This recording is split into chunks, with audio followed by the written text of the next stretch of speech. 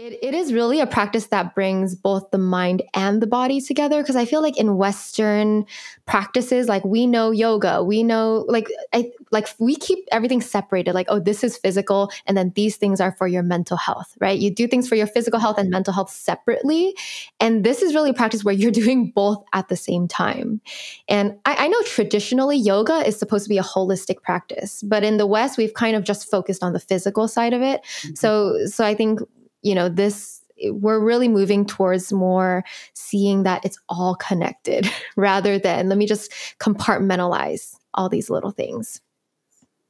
I would absolutely agree with you on that. Oh, yeah. And the last thing I want to add is, and you, you would see this in the film that we created, when you start tapping physically into your body and working on the physical body and starting to create energy flow by tapping on certain areas, it helps with your circulation what it also does is helps you uncover and tap into deep stored emotions. Mm-hmm. So I would also add that as we're looking at this practice and you're tapping and you're doing all these different modalities, it's like it's it's impossible not to address the emotional and mental and all of that side of life. It's it's just happens so organically. Mm-hmm. It's one of the things I love. Yeah, it's this. true. After a while of tapping, I'll just start crying. Yeah, that was how oh. I, I experienced that too in the beginning. And eh, that brings another topic that I, I've talked about on my YouTube channel as well. But like your emotions are stored in different parts of your body, right?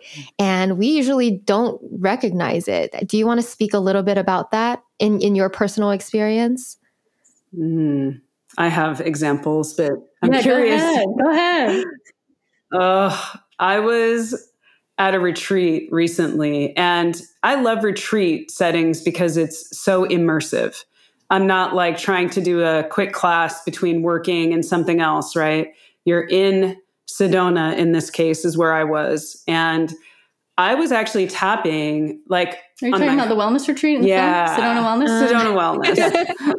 At Sedona Mago, for those who don't know. Yes. yes. Such a magical place. But I was doing tapping and I was just like, yeah, I'm creating circulation, creating an open heart. It was like my solar plexus. And all of a sudden, I had this rage that I, I mean, I don't get angry. I, that's my badge of honor. I'm always, regardless of what is happening, I don't show anger because I don't feel angry. I just have compassion.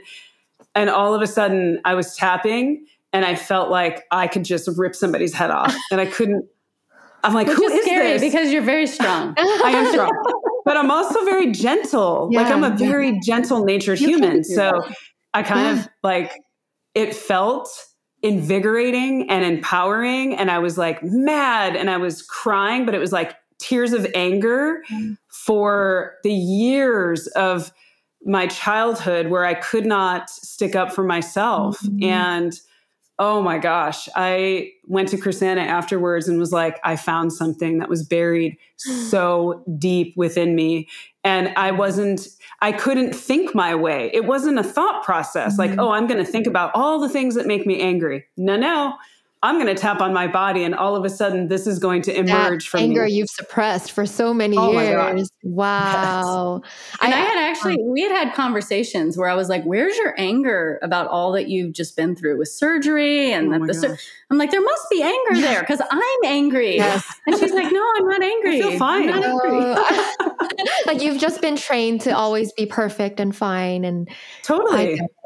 Wow. Yeah. yeah. And peaceful. Very mm. peaceful. Where anger is like my superpower. So I love that. Got it. I can tap into her anger. Can you get angry about this? Right. The, the, lesson is you, if you feel emotions, you have to let it out. If you keep it in, it's going to get stored somewhere. That emotion is raw energy. It, it's going to get stuck somewhere.